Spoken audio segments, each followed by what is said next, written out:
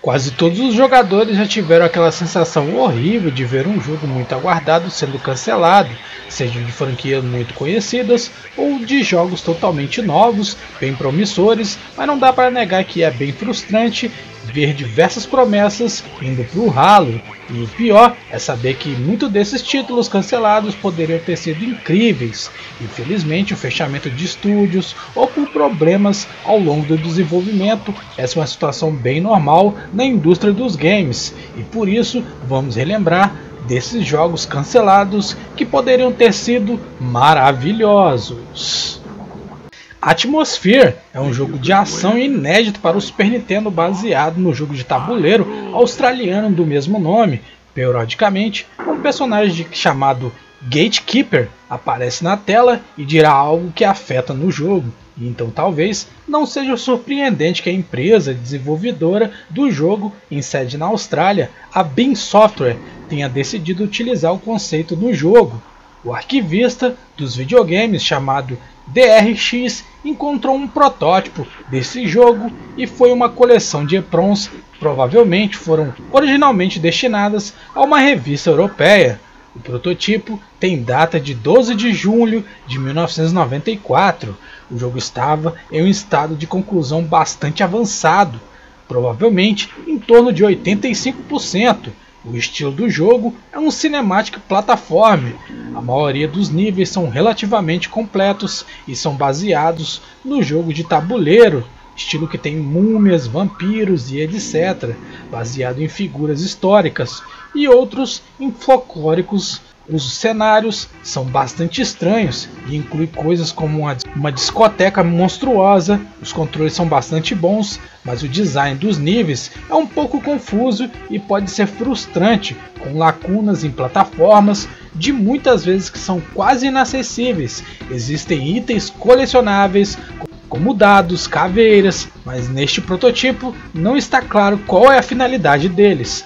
Os gráficos são muito bons e o design de som funciona muito bem, especialmente com o Gatekeeper. Eu acho que o motivo do cancelamento deste jogo teria sido problemas para se destacar no mundo concorrido do mercado 16 bits, ou talvez porque o jogo de tabuleiro não fosse tão popular o suficiente para impulsionar as suas vendas do game.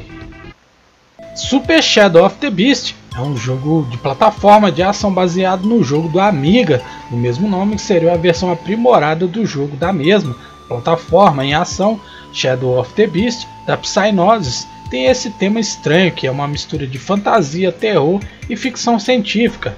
A versão do Super Nintendo estava sendo feita pela empresa chamada IGS e a Nintendo Power mencionou que ele foi mostrado na CS de 1992 que parecia melhor do que as versões dos jogos para PC.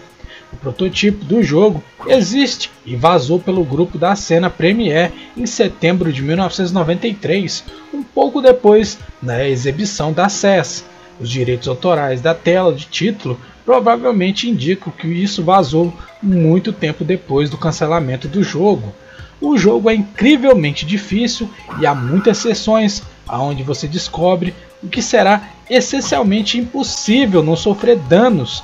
O medidor de danos é bastante liberal na dificuldade, mais fácil, mas praticamente tudo atingirá você antes que você possa acertá-los. Outra coisa frustrante é que o personagem sofre danos até mesmo em pequenas quedas. Existem apenas alguns níveis do jogo, se estiver perto do final, é um jogo muito curto, notei algumas falhas gráficas em alguns pontos, possivelmente indicando que se trata simplesmente de um bug. A versão de Amiga do jogo tem um ritmo muito mais lento e melhor posicionamento de inimigos e armadilhas e parece ser um jogo muito mais jogável, embora pelos relatos que eu vi ainda seja um jogo extremamente difícil. O prototipo do Super Nintendo carece de chefe final que está na versão de Amiga, bem como nas sequências cinematográficas antes dos níveis. Esse prototipo não é uma conversão direta, os design dos... o design dos níveis foi definitivamente alterado.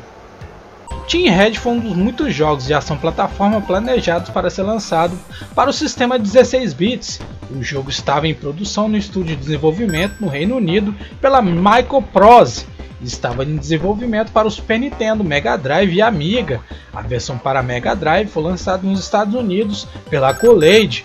Embora o jogo não tenha sido lançado para o Super Nintendo por razões desconhecidas, segundo o produtor do jogo, Stuart White, a versão de Amiga estava em desenvolvimento, mas nunca foi finalizada. O jogo nunca foi lançado pela Microprose porque o criador do jogo ficou sem dinheiro. O título provisório para este jogo foi chamado de Waldo. O jogo é um jogo de plataforma com um forte aspecto em ação. Existem quatro níveis do jogo e cada nível tem um deles é dividido em três setores, posteriormente dividido em dois subsetores. Isso significa que cada nível tem seis partes. Após cada setor, você recebe um password. No final de cada nível, há um chefe final. Este jogo é uma maratona, embora as principais coisas a serem coletadas sejam baterias, que aumentam a saúde de Team Red, as bolas de lata, que aumentam a quantidade de tiros que você pode disparar, um aspecto irritante que as cápsulas laranja que contêm power-ups podem ser tocadas antes dos power-ups possam ser coletados em locais apertados. Isso pode exigir saltos complicados se você precisar de mais um power-up.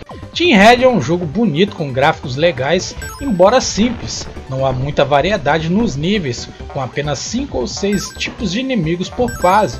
Os gráficos dos níveis são bastante básicos, os gráficos são até coloridos e suaves e teriam agradado quem jogasse na época, porém não há nada que se destaque um do outro jogo de plataforma da era 16 bits.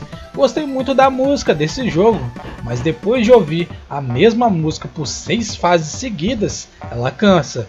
Em particular, gostei da música do segundo nível, que começa bem alegre e depois fica bem maníaca. Ter mais variedade ajudaria o jogo a passar mais fácil, já que as mortes é, o reinicio de níveis são galopantes.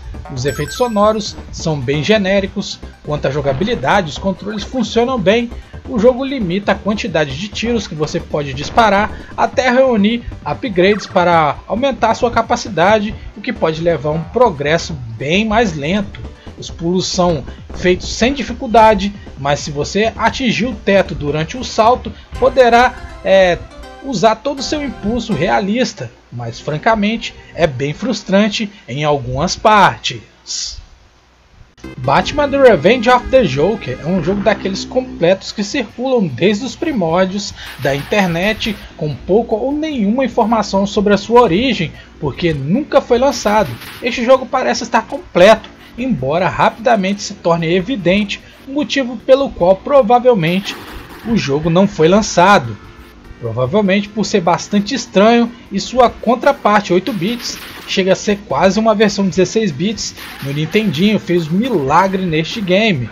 O jogo é um run and gun com algumas sessões de plataforma. A dificuldade é extrema e os designs dos níveis aqui é ruim e dificultam o que poderia ter sido uma atualização digna do jogo para o NES original.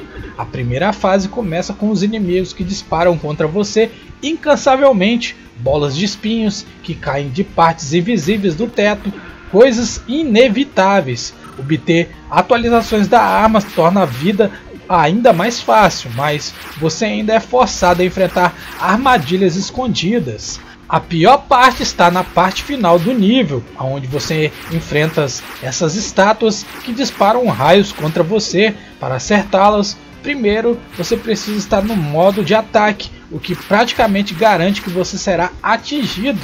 Se você não tiver 4 pontos de vida, é morte na certa. O nível é muito curto, mas por causa dos perigos, demorei a passar e tive que tentar muitas vezes para passar da fase. Primeiro gostaria de discutir os gráficos e o som. Os efeitos sonoros são praticamente inexistentes, exceto pela sua arma e pelos ataques mortais dos inimigos. Falando nisso, os gritos de agonia quando você derrota o inimigo deve ser um dos sons da morte mais arrepiante de qualquer jogo. A música parece ter saído de um jogo de NES. Os gráficos não são terríveis, mas os estádios são muito sem graça. O sprite do Batman não é ruim, mas os inimigos carecem de detalhes. As batalhas contra chefes são tediosas e não possuem estratégia para evitar danos, essencialmente forçando você a vencer o inimigo pela força bruta. Vários dos power-ups e das armas são praticamente inúteis porque não permitem que você dispare mais de um tiro por vez. O botão de salto muitas vezes não responde, causando a morte em situações em que é necessário um salto rápido. Muitos dos obstáculos tiram muita energia. Os dois estágios de tiro que aparecem não oferecem nenhuma estratégia. Este jogo é muito difícil, principalmente devido às falhas do design da jogabilidade. Depois de jogar, parece bastante evidente porque esse jogo não foi lançado.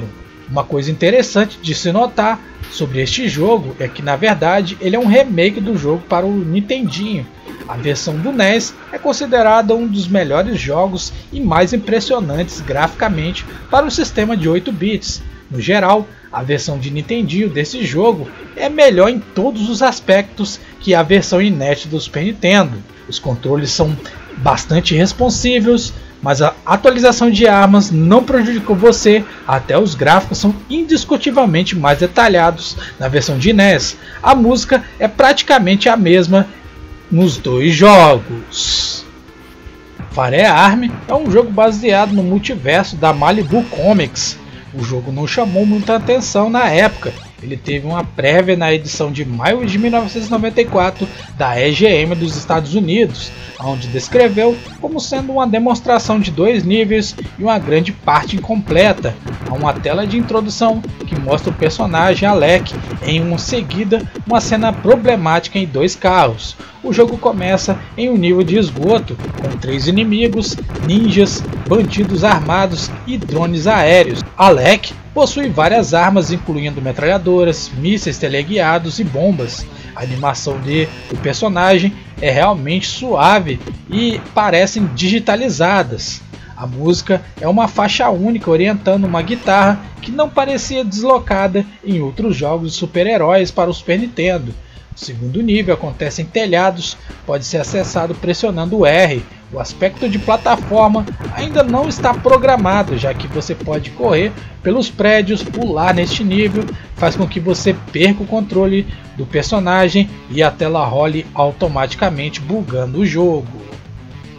Este protótipo do Bob's World é um jogo da High Tech Expression que foi baseado no desenho animado a história é Bob que precisa limpar seu quarto e sonha acordado quando começa a limpar certa parte do seu quarto.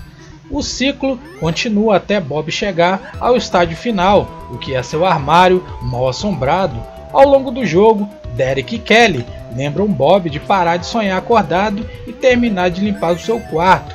Este jogo parece estar bem completo e é possível terminá-lo sem problemas. Porém, não é um jogo muito longo, pode ser vencido em menos de uma hora. Há uma divisão entre os níveis de plataforma e de tiro.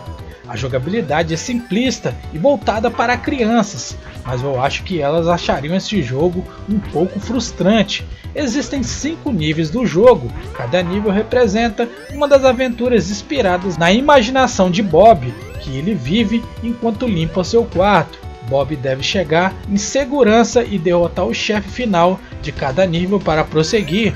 Quanto mais pirulitos Bob coletar em fase, mais pontos Bob ganha. O medidor de saúde de Bob consiste em 6 corações. Para passar com sucesso, Bob deve passar pelo menos com um coração restante. Bob pode derrotar os inimigos ao longo das fases atirando objetos neles e pode usar sua aranha para se segurar, escalar poços largos. A única voz do jogo todo é a do pai dele. Bob diz sim no jogo quando ele completa o nível, e Ai quando é atingido por um inimigo. Bob também grita caramba e também Gadzooks quando o chefe aparece no final de cada nível. Enquanto muitos jogos não lançados não conseguem ver a luz do dia, além de algumas capturas borradas em tela ou revistas antigas da época, Cool Skunk foi lançado nos Estados Unidos sob o nome de Punk Skunk é um dos poucos jogos que manteve a distinção única por ter sido cancelado várias vezes antes de acabar sendo lançado para outra plataforma completamente diferente de qual começou, ou seja, o jogo era para ter sido lançado para o Super Nintendo e acabou saindo para o PlayStation 1 em 1996, sendo que o jogo era exclusivamente 2D na época, era muito estranho isso. Uma versão hackeada que desbloqueia o nível e torna o jogo jogável até o fim do Super Nintendo. O jogo também conta com traduções de fã para inglês. O game é um típico jogo de plataforma pule na cabeça dos inimigos e acabe com eles até que chegue o final de cada fase. Em algumas fases é possível voar de paraquedas, esquiar na neve, escavar a areia. As fases são bem variadas, os gráficos são belíssimos e bem coloridos nas suas é, mais variadas fases. As músicas são bem animadas, nada de especial, mas cumpre seu papel, combinando com a proposta de cada fase. O Skank é mais uma grata surpresa. Temos a oportunidade de apreciar, sendo recomendado para todos os fãs de games de plataforma. Bom, vou indo nessa. Não deixe de curtir e compartilhar o conteúdo do canal. Vejo que tem bastante gente que assiste os vídeos, mas não está inscrita no canal. Galera, bora aí clicar no sininho para receber todas as atualizações do canal. E valeu, falou, até a próxima. Fui!